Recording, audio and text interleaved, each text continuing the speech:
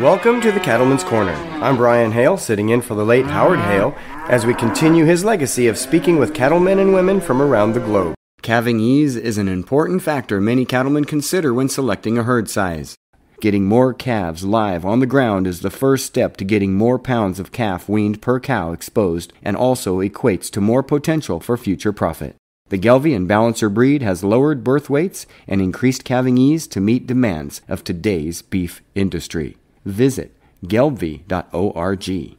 Today we explore how Nick Jorgensen from Jorgensen Land and Cattle Company uses virtual fencing in their operation. How these work is the collar has a little radio that, that talks with the base station. And so the base station in this instance is about two and a half miles north, sitting up on a hill.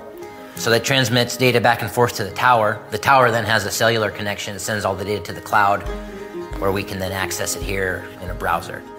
Really, really neat technology.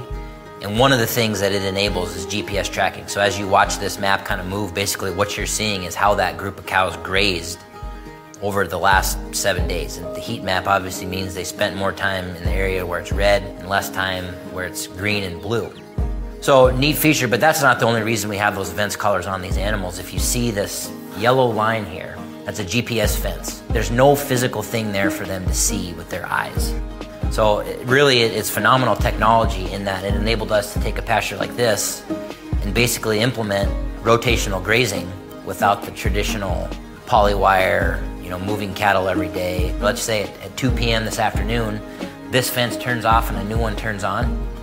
We can do it all without actually having to physically intervene with the animal. Nick Jorgensen, Jorgensen Land and Cattle Company.